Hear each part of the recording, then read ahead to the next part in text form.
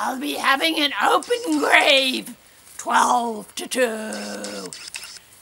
It'll only cost an arm and a leg. I can take your brains as a down payment, provided it's not a no-brainer. Ah, ha, ha, ha, ha, ha.